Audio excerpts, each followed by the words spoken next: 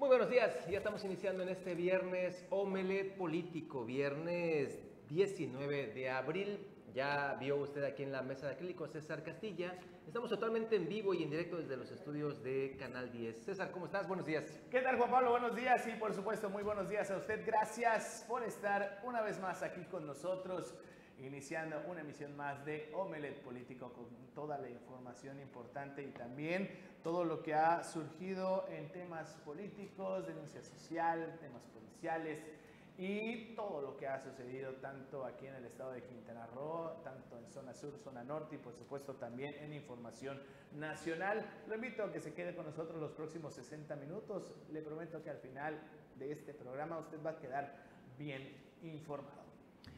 Y bueno, pues vamos a este recorrido matutino que tenemos por las plazas aquí en Canal 10. Vámonos hasta Tulum.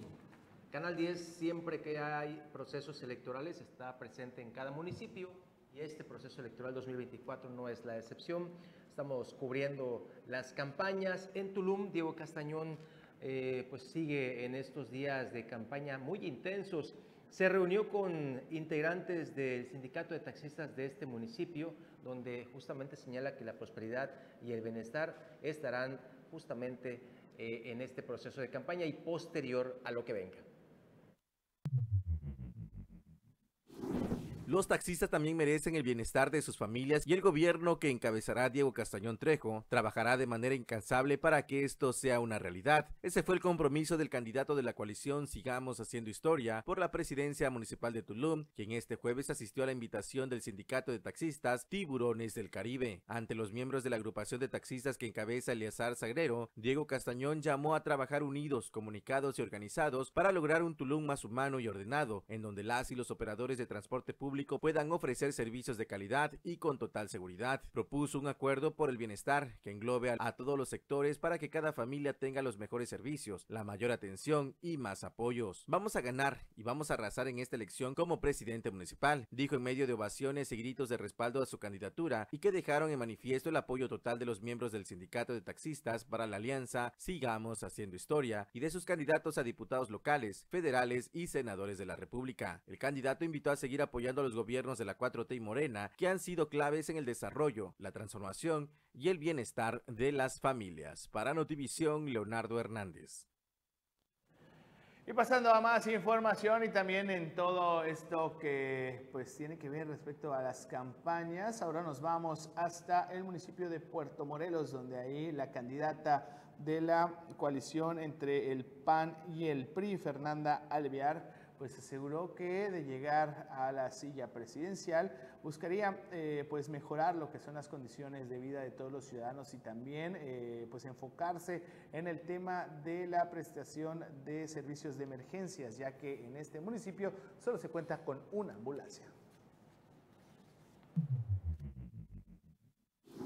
Al constatar la preocupante situación de contar solo con una ambulancia para atender la emergencia en todo el municipio, la candidata del PRIPAM, Fernanda Alvear, se comprometió a promover tres vehículos adicionales para garantizar una respuesta rápida en casos críticos. Alvear enfatizó que su proyecto se enfoca en mejorar la salud de los habitantes, identificando áreas de oportunidad y proponiendo mejoras concretas para el municipio. En su jornada de campaña, la candidata a la presidencia municipal, Fernanda Alvear, anunció su compromiso de implementar tres ambulancias de servicio gratuito para la población como parte de un plan integral de atención médica. Este plan enfocado en el futuro y en las necesidades reales de la ciudadanía busca abordar de manera efectiva el rezago en salud que afecta a la comunidad de Puerto Morelos. La salud es una de las principales preocupaciones de los puertomorelenses y nuestro proyecto busca restaurar la dignidad de la ciudadanía sin ver estas necesidades como moneda de cambio, declaró Fernanda Alvear durante su campaña de convencimiento ciudadano. Además de la adquisición de ambulancias, la candidata de la coalición Fuerza y Corazón por Quintana Roo anunció la designación de recursos especiales gestionados a través de fondos estatales para mejorar la atención médica en los dispensarios médicos existentes, el doctor José López Lira en la cabecera municipal y el de la delegación Leona Vicario. Para Notivisión, Leonardo Hernández. Y en Felipe Carrillo Puerto, pues este tema de las campañas todos los días, todas las mañanas, al mediodía, en la tarde y en la noche. María Hernández, la candidata a la presidencia municipal en Felipe Carrillo Puerto, por evidentemente Morena, informó que el segundo piso de la transformación, de la cuarta transformación, se erigirá desde el corazón de las comunidades mayas. Aquí tenemos el detalle.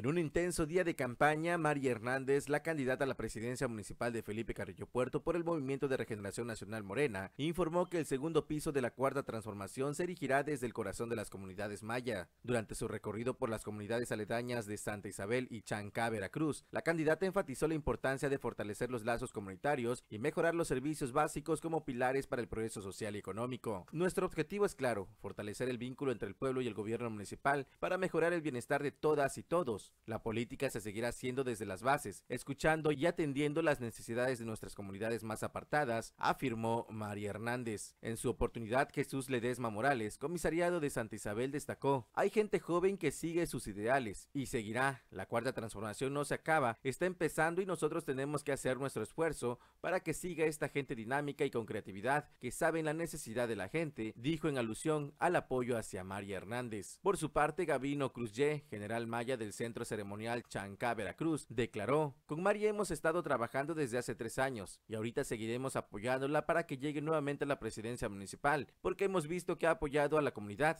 Es una persona que nos entiende, comentó. Para Notivisión, Leonardo Hernández. Y pasando también a más información respecto a las campañas electorales en el municipio de Solidaridad, ahí la eh, candidata Lili Campos Miranda, en busca de la reelección, ha constatado de viva voz de los solidarenses que no quieran regresar a este desastroso eh, pues, gobierno que tuvo Morena en solidaridad. Por lo tanto, le han dado el apoyo y el respaldo al 100% a Lili Campos. Debido a los buenos resultados que la ciudadanía ha observado en dos años y medio de renovación, se niegan a regresar al gobierno corrupto de los verdes que ahora están disfrazados de morena. Esto es lo que expresaron vecinos de la colonia Ejidal a la candidata de la alianza Fuerza y Corazón por Quintana Roo, Lili Campos, durante su caminata en los cuales ciudadanos refrendaron que apuestan por consolidar la renovación. Tenemos un recibimiento muy cálido y esto nos llena de mayor energía para seguir trabajando hoy por esta reelección para continuar con la renovación de nuestro municipio. Me comentan algunas necesidades que hay en su colonia y tomamos nota porque esto nos permitirá tener el planteamiento de las propuestas de campaña, aseguró. Dijo que en las inquietudes que fue recabando en cada uno de los hogares, los ciudadanos no quieren que se pierda, con otro gobierno improvisado, el mejoramiento que les permite vivir en una colonia bien iluminada, segura y limpia. Esto no podemos permitir que vuelva a suceder, menos con personas que vienen disfrazadas de morena, porque de morena no tienen nada, señaló. Para Notivisión, Leonardo Hernández. Y bueno, a lo largo de toda esta semana le hemos mostrado algunos clips sobre este programa que ha iniciado Carlos Pérez Zafra, Si no vota, no llore.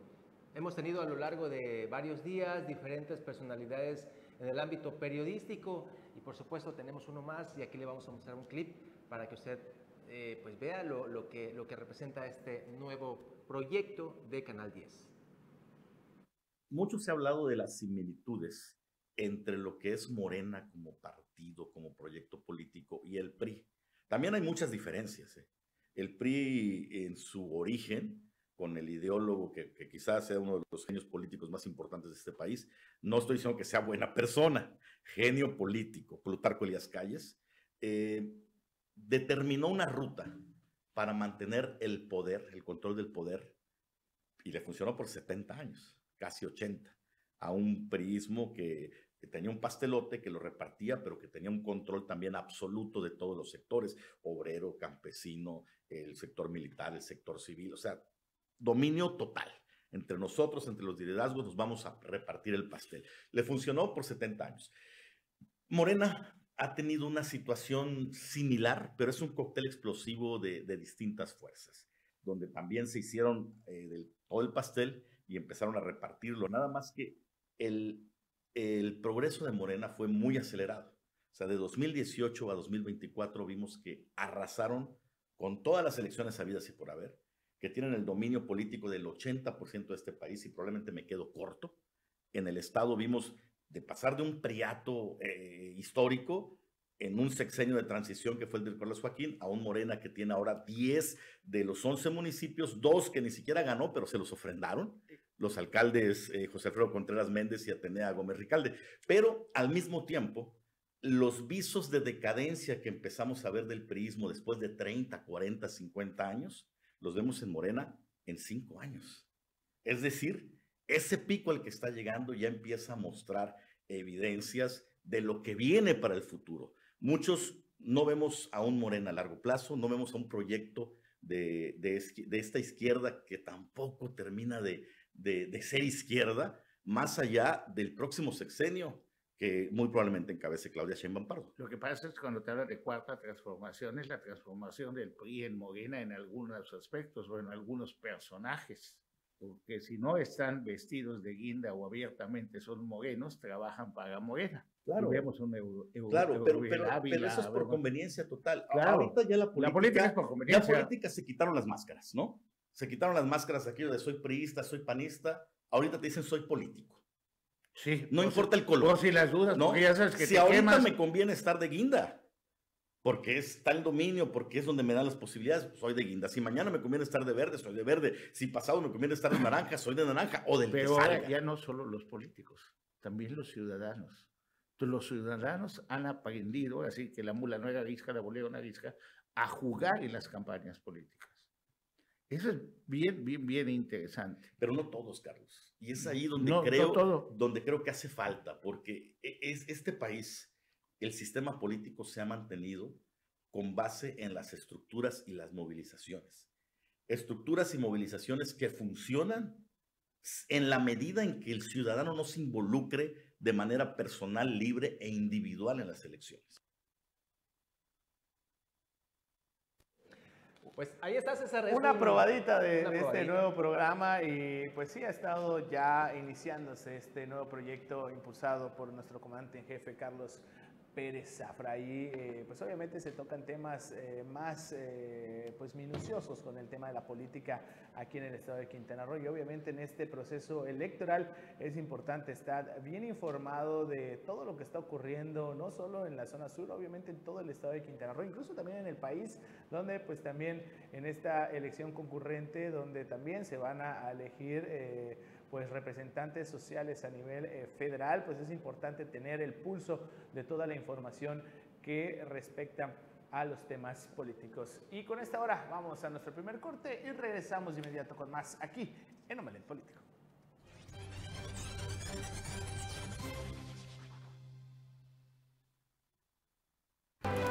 Sin tacto político. Con Jesús Amador.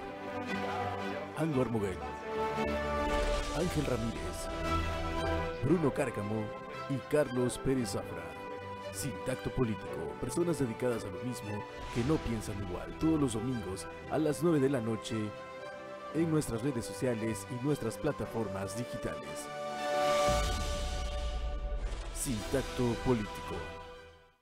Simbología de las banderas. Por precaución y seguridad, es importante estar al pendiente de las banderas en las playas, antes de entrar a nadar. Bandera roja, prohibido. Bandera amarilla, precaución. Bandera verde, seguro. El área es segura. Recuerda nadar siempre en presencia de un guardavidas. Evita accidentes. México se prepara para una jornada histórica de elecciones. Nueve estados de nuestra amada nación elegirán a sus gobernadores mientras que todo el país decidirá el rumbo del gobierno federal con la elección del nuevo presidente de México. Esta emocionante velada será transmitida en vivo a través de Canal 10.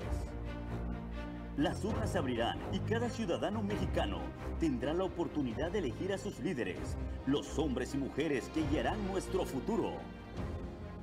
México está cambiando y tú eres parte de ese camino.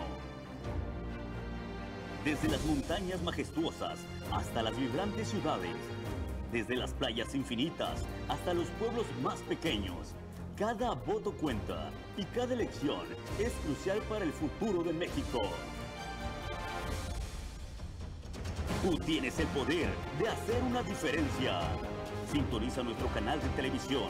Acompáñanos en este viaje hacia una nueva era política y descubre cómo juntos podemos construir el México que todos deseamos.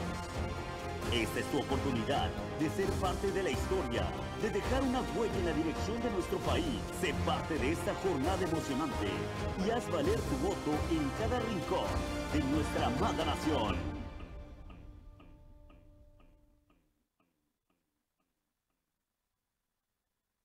Descubre una nueva forma de viajar con Ultramar. Con nuestra página web puedes reservar tus boletos y pagar en línea de manera rápida y segura. Disfruta de un viaje sin complicaciones a través de nuestra plataforma en línea, donde podrás elegir tus destinos y obtener tus boletos al instante. Olvídate de las largas filas y las llamadas telefónicas. Ultramar está aquí para ofrecerte un servicio conveniente y al alcance de tus manos. Reserva ahora y vive una experiencia de viaje extraordinaria.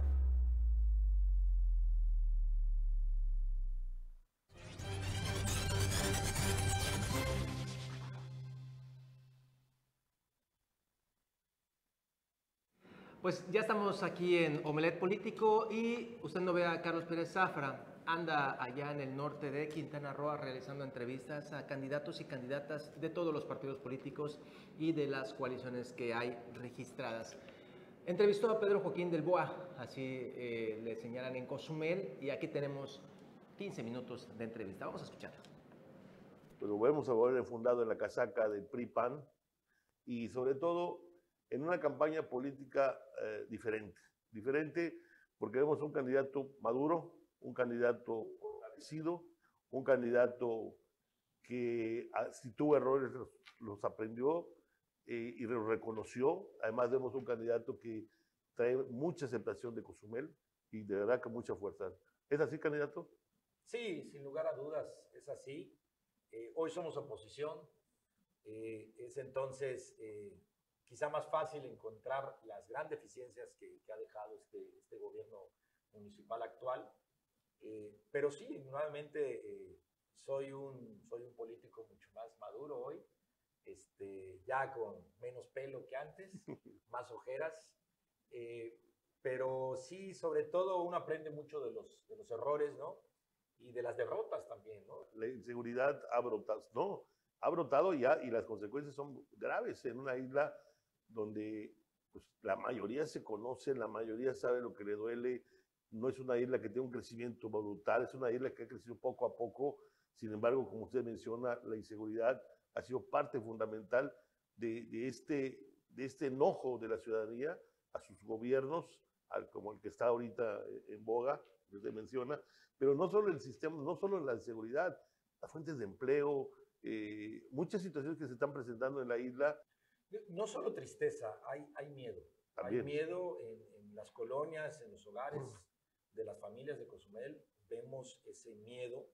Eh, mira, la otra vez eh, estábamos en, un parque eh, y el parque está en muy buen estado. Raro, hoy la mayoría de los parques están en una situación deplorable. y eran las 7 de la noche y no había un solo niño, un, un solo padre de familia en ese parque, porque pues tienen miedo al tema de, de eh, que les vaya a tocar una balacera, que son casi todos los días, eh, o algún ejecutado cercano, que son casi todas las semanas.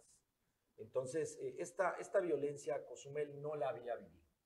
Habíamos tenido algunos problemas de inseguridad en administraciones pasadas, sí, no, no, se niega, pero nunca habíamos tenido, pues estamos hoy ya cercanos a los 40 ejecutados. Esta administración va a terminar con mínimo 40 ejecutados en, menos de tres años.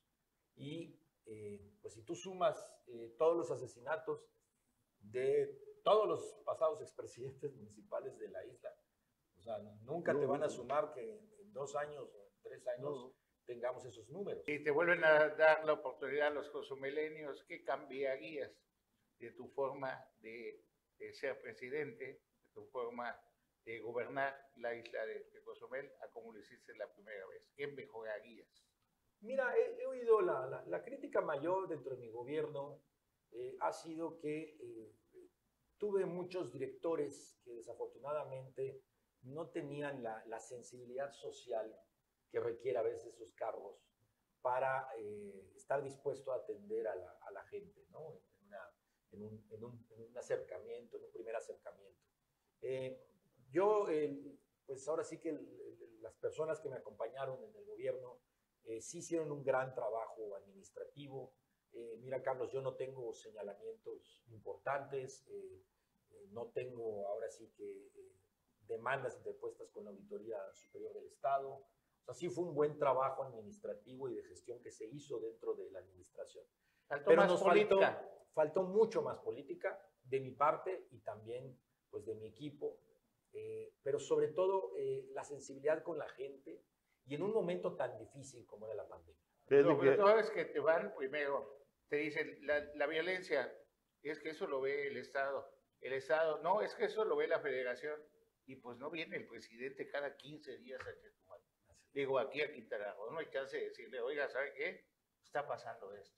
Nos hablan de cámaras, de las inversiones, de 3 mil, de mil cámaras y todo en la administración de Carlos Joaquín y todo. El C5 vemos que no ha funcionado. En Cozumel se habló de cámaras. ¿Qué pasó con las cámaras? Son las cámaras que hoy están. No, esta administración no ha puesto una sola cámara más. Mira, nosotros eh, en colaboración con la Secretaría de Seguridad Pública del Estado, que entonces comandaba Capella, eh, logramos hacer el primer C4 de, del Estado, eh, casi un año antes que, que, el de Cancún, que ya después, entrelazados estos dos, se convirtió en un C5, gracias a que gobiernos priistas anteriores ya habían creado un C2 en Cozumel, ya teníamos las instalaciones, ya, ya había un avance, entonces fue más fácil.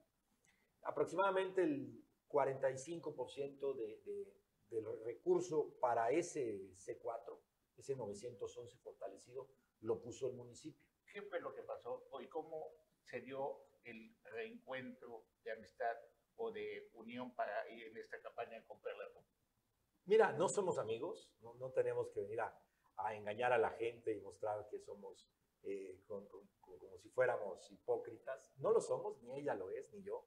Eh, ha sido difícil, pero eh, empezamos a platicar como, como ciudadanos, yo, yo todavía estaba de regidor, y ella se acercó como ciudadana, había sufrido un robo en, una unidad deportiva, eh, su, hija y varias amigas, este, y pues se habían acercado a decir, oye, ¿qué está pasando? Eh, a exigirle cuentas a, su gobierno, a su ayuntamiento, como es su derecho. Y eh, pues yo me empecé a desahogar con ella de la impotencia que he sentido como miembro del Cabildo en que la autoridad municipal me escuche y, que, y tome el, tema de la seguridad, como sí lo he visto aquí en Solidaridad, ¿eh? como lo he visto y es palpable con Lili Campos. Entonces, eh, yo sé los recursos públicos que hay y no he visto esa atención. Y de ahí empezamos a platicar este, y pues eh, al final sabemos que sale José Luis Chacón como candidato de Morena y pues con más razón nos sentamos a platicar porque consideramos que eh, Chacón es, eh, era de los peores personajes que había en el PRI. Por eso yo no, yo no lo digo, lo digo claro. O sea, para guerra sucia. Yo le pedí que se fuera, porque lo único que generaba era una mala imagen a nuestro partido. Y se vino aquí a trabajar con quizá la peor presidenta municipal que ha habido en esta, en esta ciudad de Playa del Carmen, que es Laura Peristán, digámoslo como es. Entonces, eh, era un señor que estaba rodeado de corrupción eh, y que nos, nos daba mucho y nos sigue dando mucho temor de lo que, en lo que puede acabar Cozumel si alguien como él gobierna. Sí, desde toda y eso, eso nos hizo asentarnos a dejar nuestras diferencias atrás. Esa alianza no la creamos nosotros. Esa alianza tiene casi cuatro años a nivel nacional eh, y ella siempre ha competido en el PAN. Yo siempre he competido en el PRI. Sí, totalmente. Entonces, eso nos lleva a que nuestras plataformas políticas a nivel nacional también nos digan. Puntos pero revueltos. Así es. A ver, hay varios personajes, exgobernadores, o más acá, que podrían estar atrás de tu proyecto, pero por estrategia política, por cuestiones empresariales, no se atreven a sacar su bandera. Pero, ¿puede ser? Sin lugar a dudas.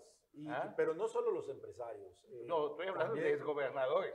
Pues quizá, Estoy hablando, ¿por qué? Porque pues, vemos que sí hay, ha habido pues, persecuciones a creación del SAT, de, del SAT estatal, pues no ves que, que, que sea para los evasores de impuestos, sino son para los que, adversarios políticos. Así es, así es. Entonces, ¿qué, ¿qué, pasa ahí? Eh, pues la, la 4T eh, opera eh, muy parecido a lo que era el viejo PRI hay que decirlo, con, con, con esa aplicación de, ¿no? de, de, los expedientes en, en, la fiscalía de una manera este, muy, muy política. Eh, aparecen de pronto expedientes que llevan dormidos cinco años y de pronto, oh, por milagro, avanzan más rápido que un correcaminos. Entonces, pues lo entendemos. Eh, yo creo, yo creía que eso ya habíamos dejado atrás. ¿De quién te rodeas en esta vez? ¿De robots que no, que porque es más fácil tenerlos encerrados como pasa en la actualidad? ¿Saben qué? No hablen, solo una o habla, y también a nivel nacional lo vemos. ¿Qué secretario vemos que salga a hablar después del presidente de la República? Nadie. Eso pasa a los gobiernos y también los secretarios y los, los directores tampoco hablan. Es, es muy difícil conseguir una entrevista con, una, con todo tipo de funcionarios. ¿De quién te vas a rodear? Pues mira, hoy mucha gente se me ha acercado, gente que no estuvo conmigo en mi gobierno, gente que inclusive estuvo en contra, ¿no? Eh, con Perla, algunos de ellos, este, pero hoy lo que le decimos es, primero hay que ganar, señores, ¿no? Eh, hay que aceptarlo, este, del otro lado tenemos un contrincante muy grande, muy poderoso, con todo el aparato del gobierno atrás. Pues primero hay que ganar. Primero ganemos. Eh, yo soy un, creyente de que hay que romperse el alma en las campañas para garantizar un buen puesto o ahora sí que ser importante ya en el gobierno. Claro, tenemos funcionarios que eh, tienen una capacidad administrativa que hay que reconocerles eh, y hay que abrir los espacios porque te ayudan a tener un buen gobierno sin lugar a dudas. Pero, pero hoy yo lo que creo es, eh, hay que venir a, ahora sí que a trabajar con todo en la campaña, a caminar, atender a la gente, eh, y ya después vendrá la asignación de los puestos. Y tienes la, las, las, tienes, bueno, yo creo que aparte de la preocupación por la isla de Cozumel, donde se deben de unir todos, nos debemos unir todos por la seguridad, es una cuestión también de honor que eso que vuelves a competir por la isla, que a tanto quiso tu abuelo, don, don Nacín, donde fue el Tatich, donde no podías ir a Cozumel si no pasabas a saludar a don Nacín. A mí me tocó, y, y mi respeto absoluto para él, me tocó platicar con él, me tocó conocerlo. Y pues hoy en día tienes en tus manos participar en uno de los momentos más críticos en la historia de la isla de Cozumel. Mira, a él no le gustaba que participáramos en la política, inclusive varias veces lo ha dicho mi papá, eh, cuando decide, por invitación del gobernador David Gustavo, este, le quita el habla como seis meses mi abuelo por haberse ido a la política. Entonces, no le gustaba que participáramos. Pero estoy seguro que él eh, estaría también eh, sumamente alarmado de lo que se está viviendo hoy en la isla. y también creo que de alguna u otra manera buscaría participar para que alguien llegue a solucionar lo que estamos hoy viviendo. Eh, y hoy, eh, pues yo no vi sobre la mesa ningún candidato que pueda al menos intentar eso. ¿Y a qué me refiero? A buscar proteger a las familias cozumeleñas, protegerlas de, este incremento de inseguridad que se está viviendo y eh, hacer un buen trabajo reduciendo el índice delictivo. ¿Le llamarías que los habitantes de Cozumel están bajo amenaza? Sí, sí, la gente está con miedo en sus casas. Pues ahí está esta entrevista con Pedro Joaquín. Vamos a un corte y regresamos con más aquí a Omelet Político.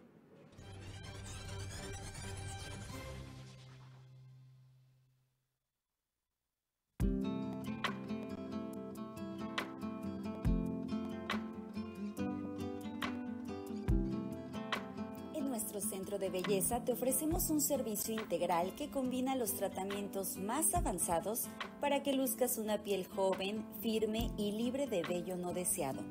Di adiós a la celulitis y a la grasa localizada. Conseguirás reducir centímetros y moldear tu figura de manera efectiva.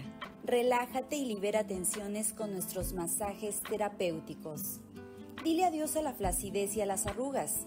Nuestro tratamiento de radiofrecuencia estimulará la producción de colágeno para que disfrutes de una piel más tersa, firme y rejuvenecida. Pon tu mejor cara hacia adelante con nuestros exclusivos tratamientos faciales.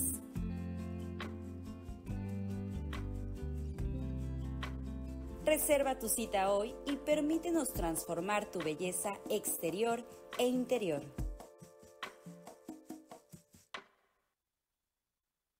Tramita tu licencia de conducir en el Instituto de Movilidad del Estado de Quintana Roo. Acude al módulo de atención de licencias más cercano. Es un trámite muy sencillo. Acude con todos los documentos requeridos. Puedes consultar los costos y requisitos en uroo.gov.mx diagonal Queremos ofrecerte una atención puntual, ágil y oportuna.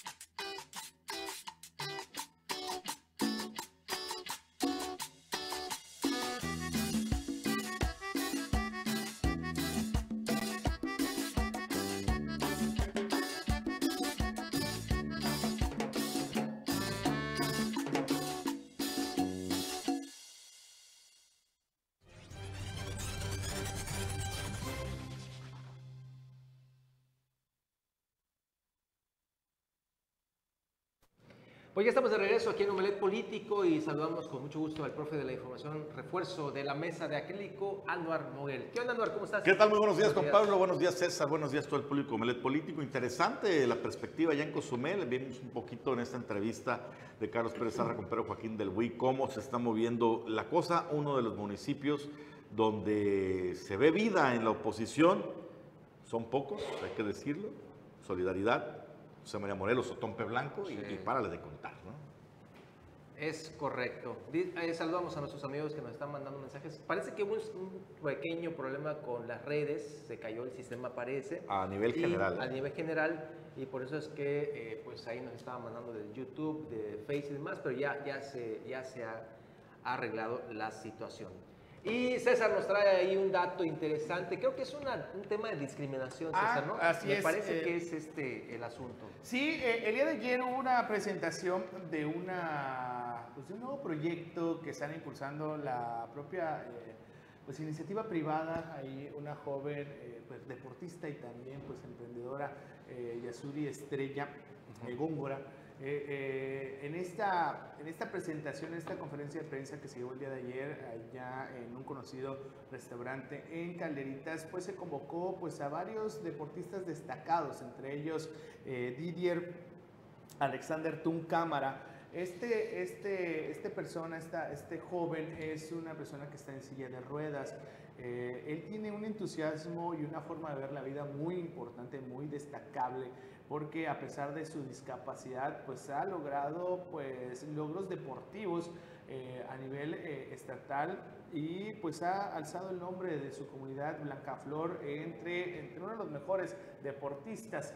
Lamentablemente, eh, él fue víctima de la discriminación por parte de la Liga de Béisbol de Calderitas que encabeza Andrés Tututi Pot él nos dio a conocer pues su pues mala experiencia pues porque a pesar de haber sido incluso también perteneciente a este grupo de la Liga Mexicana Tigres de Quintana Roo pues aquí en Otompe Blanco pues le cerraron las puertas vamos a ver toda la información discapacidad mayormente nos hacen a un lado y, eh, por ejemplo a mí en algunos lugares se me han cerrado las puertas pero ¿Cómo en cuál? Con, este, por ejemplo, en la, en la liga acá donde quise participar, en la, de, en la liga de calderitas, no se me permitió jugar.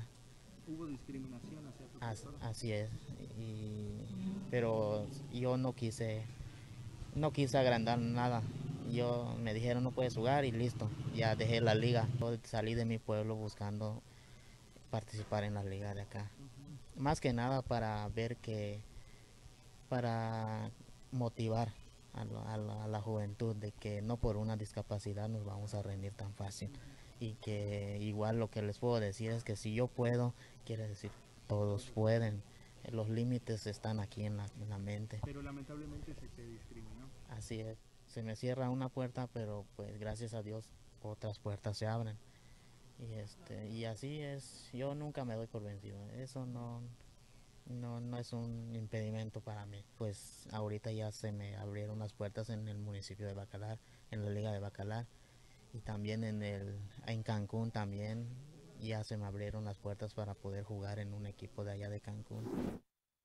Y sí, eh, de hecho, eh, en, la, en toda la nota eh, pusimos ahí algunos videos, no sé si los pudiéramos también eh, pasar, unos videos en los que pues se muestra a este joven eh, pues jugando, jugando al béisbol y lamentablemente fue víctima de la discriminación en esta liga de béisbol. Algo que también quiero dejar claro al momento de la entrevista, eh, el joven pues nos dijo que realmente este tema no lo quiso hacer público a pesar de ser revictimizado, pues a pesar de tener pues esta discapacidad, pues todavía no lo dejaban participar. No sé si nuestra producción pudiéramos eh, ver igual parte en unos videos de los que el momento en el que él está pues desempeñándose como deportista.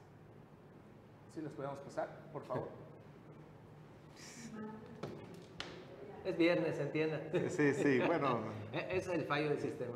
El, el- el marcial es el fallo del sistema. El- Sí. Ahí está. Bueno, un poco más Ah. adelante donde están, ahí está, mira, eh, haciendo una jugada de doble play, también al momento de hasta de, de batear, así es como él juega.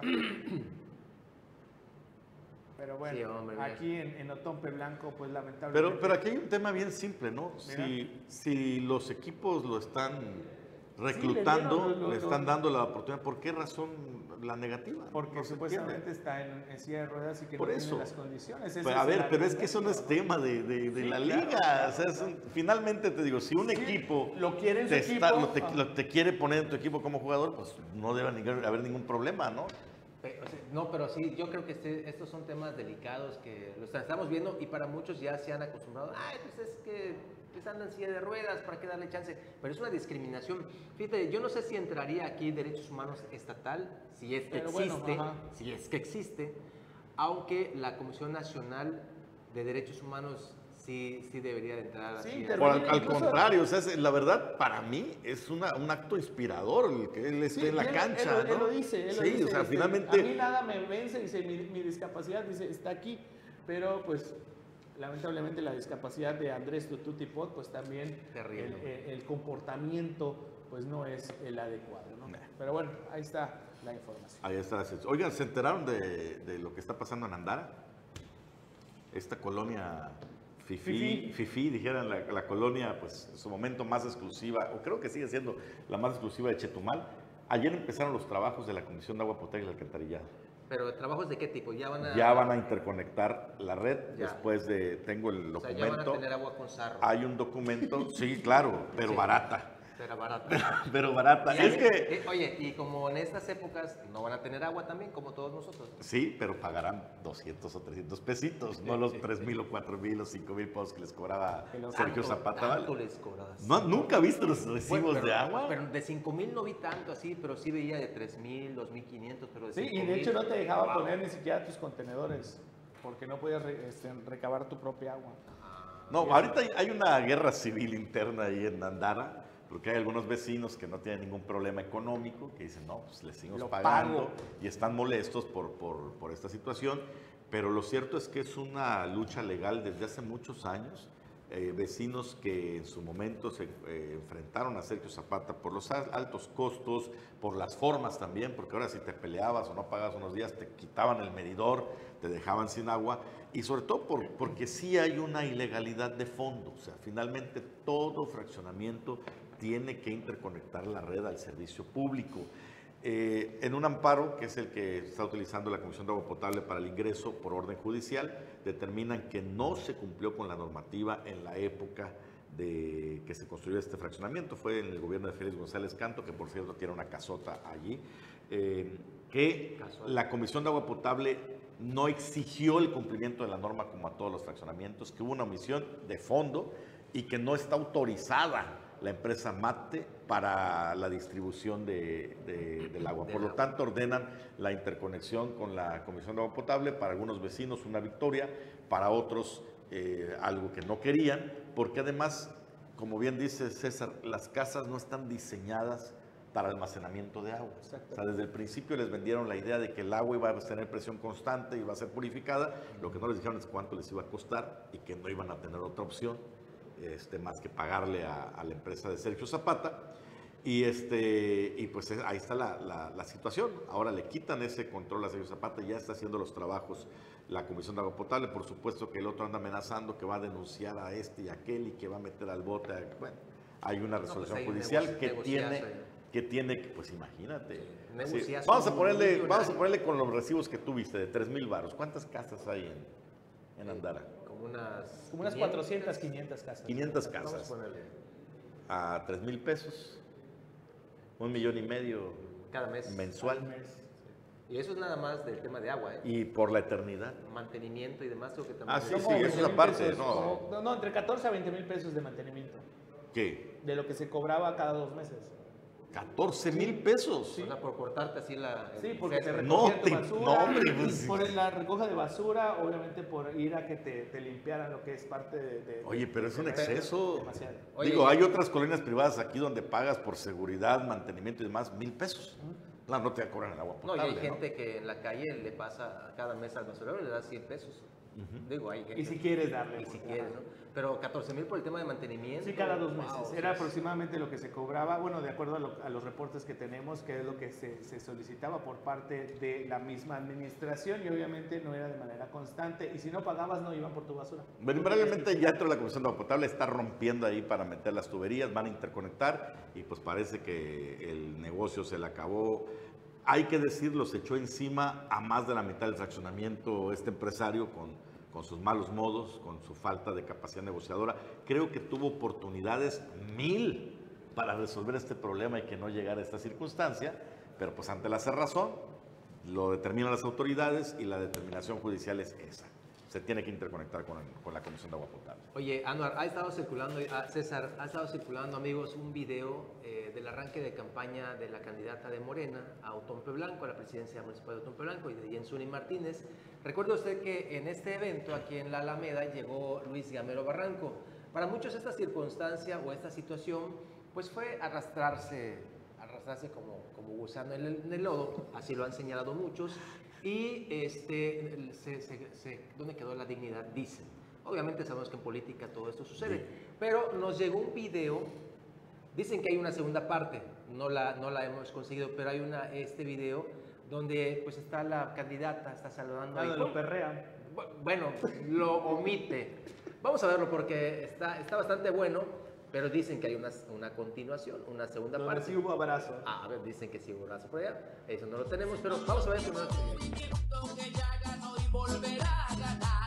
Es un orgullo ser morenista, servir al prójimo es un honor,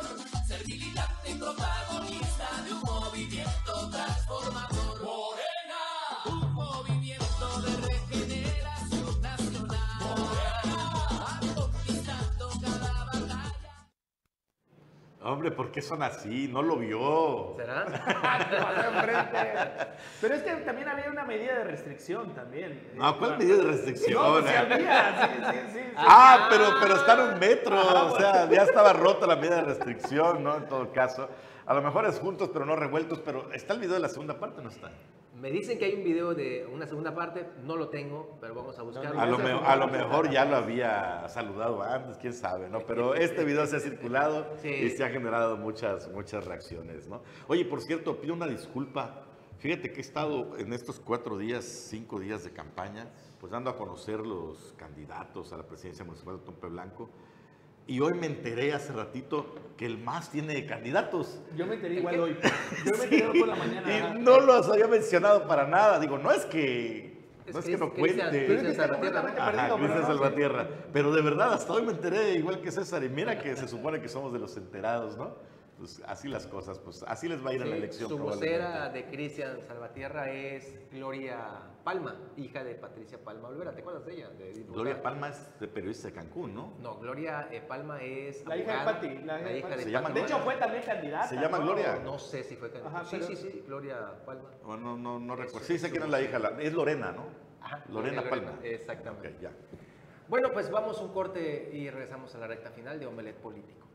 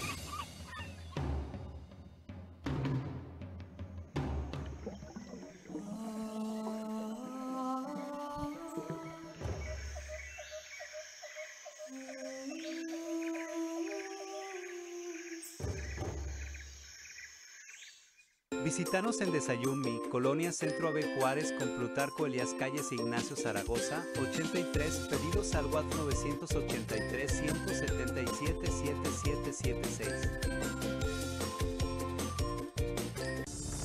Sin político.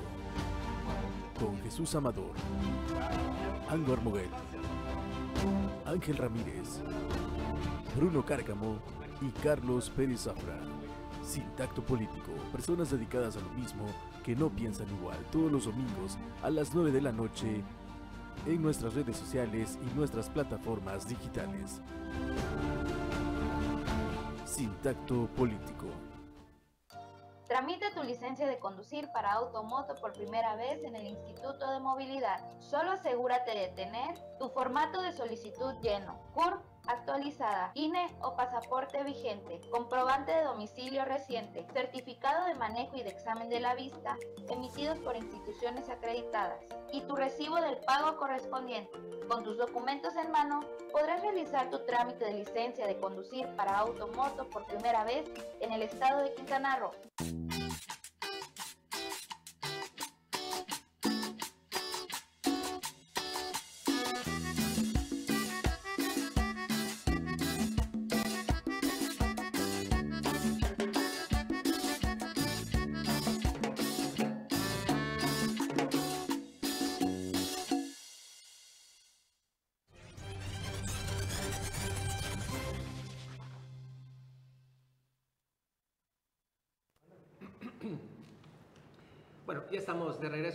Gracias y también insistimos, Carlos ahí anda entrevistando a candidatos y candidatas de todo el estado, de toda la geografía estatal.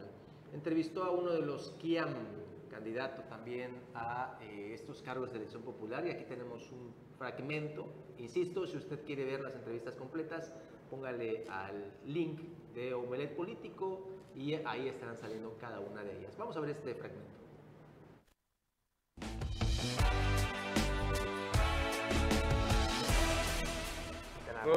Con un caribeño. Pero eso no ha habido, eso, eso. de que- dime, en toda la historia, ¿de qué nos han servido los diputados ¿Y tú en qué vas a marcar la diferencia? Claro que sí, porque, porque no sienten amor por su tierra, ellos sienten amor por sus intereses personales, por sus intereses de grupo. Yo tengo un compromiso con mi familia, con la sociedad, con mi pueblo, con mi estado, con mi distrito. Y bueno, es trabajar, trabajar fuerte, trabajar en seguridad, que es un tema que la verdad, eh, la estrategia de abrazos y no balazos, lo estamos pagando todos en Quintana Roo. Eh, el tema de atención médica, de servicios eh, de atención médica de hospitales también está en los dos municipios como Lázaro Cárdenas y Puerto Morelos. Notamos mucho, mucho rezago en la educación, se trabaja mucho en la educación física, pero bueno, ¿dónde está lo emocional, lo psicológico? Que también es un tema que nos debe competir. una de las primeras causas de muerte ya en dos años, la depresión. Exactamente, este mundo tan, o esta vida tan rápida, tan estresante que vivimos, y tal vez no sabemos controlar, pues ha tenido sus repercusiones en esos temas. Y bueno, en el deporte que por el crecimiento acelerado que tienen municipios como Solidaridad, como Puerto Morelos ahora, pues va quedando el, el rezago y creo que es importante porque la juventud necesita ejercitarse, recrearse y eso da salud. Pero después de lo que vemos en la Cámara de Diputados esta semana, donde según esto aprueban una de las leyes, se vuelven empleados todos los diputados del presidente en turno o de la presidenta en turno. ¿Qué hacer en la Cámara de Diputados para no ser uno más del montón, no ser una estadística y solamente que el día de mañana puedas decir, fui diputado por el primer distrito? O sea, ¿cómo trascender que se note la presencia de alguien que quiere tanto a solidaridad, a su distrito y todo, ¿Cómo hacer que se note? ¿Cómo hacer marcar la diferencia? Claro. Bueno, el primer paso es llegar a la Cámara de Diputados para crear ese equilibrio, esa balanza, para que un gobierno no haga lo que se le pegue la gana. El segundo caso, la segunda parte es tener ese compromiso y ese, ese amor a tu pueblo, donde lo que se decida ahí sea en beneficio de la sociedad y no sea en beneficio de, un particular o un beneficio de grupos, ¿no? Y tercero, pues llevar las propuestas correspondientes y, los programas correspondientes para que también sea lo que necesita la sociedad.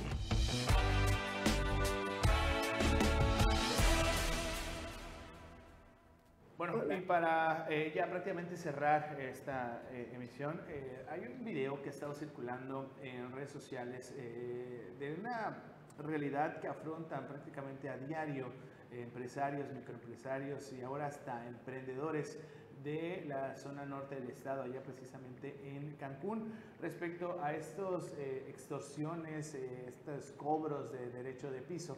Una mujer emprendedora pues ha alzado la voz y ha eh, dado a conocer la situación que está afrontando en estos momentos allá en Cancún. Vamos a ver y escuchar el video. Hola, mi nombre es Elizabeth y soy emprendedora de Cancún. El motivo de este video es para que hablemos sobre la gente que está extorsionando a pequeños emprendedores como yo. Bueno, pues resulta que yo llevo, yo tengo tiempo vendiendo por Facebook. Y no hace mucho empecé a vender en unos tianguis. Yo tengo tiempo ya vendiendo en Facebook. Yo me dedico a vender juguetes para adultos, este, cosas para niños, ropa, este, de todo un poco, ¿no? No hace mucho, hace quizá como unos dos meses, menos, empecé a vender físicamente en los tianguis. Anteriormente yo ya lo había hecho con mi pareja, vendíamos en los tianguis y todo siempre nos fue muy bien, gracias a Dios. Dime que recientemente recibí un mensaje de amenazas de que tenía que pagar piso. O sea, y yo así como yo no sé si a alguien más le ha pasado, soy la única. O sea, yo no entendí ese mensaje porque prácticamente, o sea, mi puesto es un lugar pequeño. Yo vendo en una mesita en el tianguis, no voy todos los días porque no puedo ir todos los días. Qué injusto que personas que no tienen nada que hacer, porque yo ni siquiera sé si lo que me están diciendo es verdad, va a pasar o no pero tampoco me quiero arriesgar o si es alguien que se esconde detrás. Es parte de- de- del video de, de la vivencia de, esta mujer emprendedora que, pues, como ella lo, lo- lo menciona, ella solo va a los tianguis en una mesa y, y a vender sus productos y pues ya le han llegado los mensajes de extorsión en los que ya se le solicita un pago por este ya denominado derecho de piso. Una realidad que pues afrontan pues no solo ella, yo Y, y que también, este, para añadir, eh, César, porque este video se hizo viral, ayer estuve revisando los comentarios, hay que, hay que ver el efecto del miedo, ¿no? Porque muchos, muchos de los comentarios le dicen, mira, yo también vendo en Tianguis, también me llegaron mensajes, eh, cuando son mensajes, dice, generalmente vienen o de gente que puede ser hasta tu competencia o gente que está en la cárcel a ver qué saca, dice, yo denuncié y no tuve mayor problema. Y mencionan por ahí que los de los tianguis sí se arreglan para que no tengan inconveniente. La cosa es que muchísimos mensajes diciendo que ya gente común, por ejemplo, algún vecino, alguna persona que te tenga envidia o que estés compitiendo en el mismo ramo, utiliza esta- estas mecánicas para tratar de disuadir. O gente que también quiere ganar una lana, te manda mensajes con información que tiene en las redes, te dice, deposítame tanto, y si caes, pues ya están de, de- de- de gane, utilizando el miedo, la psicosis social, porque este fenómeno sí existe y sí se Sí, da, claro. ¿no? Entonces hay muchos oportunistas, eh, en este caso le recomendaron a ella, pues sí, a- asistir con las autoridades, se dividen las opiniones, algunos dicen que les ha ido bien, otros no, pero lo cierto es que la ciudadanía sí vive en un estado de zozobra. Sí, y más allá en la zona norte del estado. Y con esto hemos llegado ya al final de este espacio Melet Político. Un gusto, eh, como cada mañana, estar aquí con ustedes, Juan Pablo Anuar. El domingo sin tacto político, 9 de la noche, y nos escuchamos aquí en Omelet Político y nos vemos el próximo lunes. Hasta luego.